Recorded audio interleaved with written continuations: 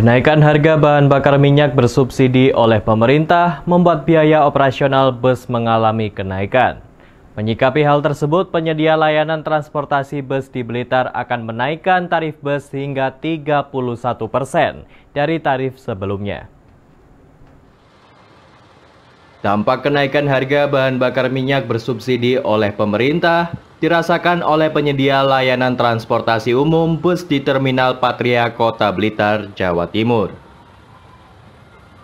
Sejak harga solar naik dari harga Rp5.150 naik menjadi Rp6.800 per liternya, para pengusaha tidak mendapat keuntungan dari tarif lama.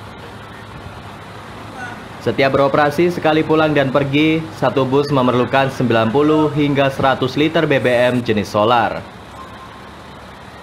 Meski harga BBM sudah naik, namun hingga saat ini tarif bus masih menggunakan tarif lama, yakni Rp40.000 untuk rute dari Blitar ke Surabaya.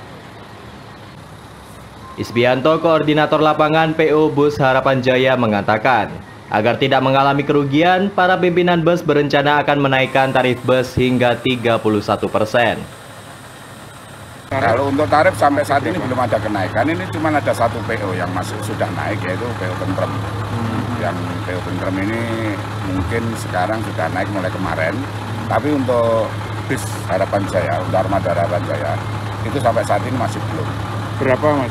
Masih tetap 40 ribu, Pak. 40 ribu ya, ya? Masih tetap 40 ribu.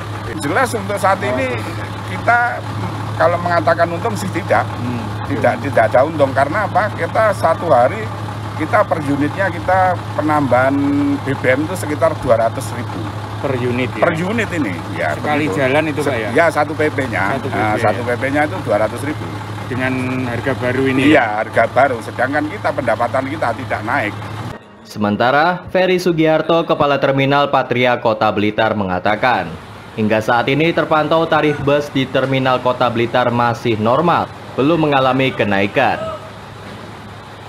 Untuk kenaikan tarif, pihaknya masih menunggu tarif resmi yang dikeluarkan oleh Organda Jawa Timur. Betulnya ada kendala, yang adalah kendalanya kan belum resmi ya aturannya itu uh, turun, tapi untuk pengusaha akap non ekonomi, jadi uh, para pimpinan PO sepertinya sudah mufakat ya perundingan ya, menetapkan besaran tarif sementaranya uh, berapa persen gitu ya. Nanti kalau memang sekiranya masyarakat dirasa terlalu berat dengan apa itu dilihat dengan penumpangnya yang turun berarti mereka akan mengadakan evaluasi lagi untuk menurunkan tarif yang telah ditetapkan. Mereka bersama. Diperkirakan tarif angkutan bus mulai naik pada tanggal 8 besok. Dari Blitar, Arif Rosmanto, AMTV mengabarkan.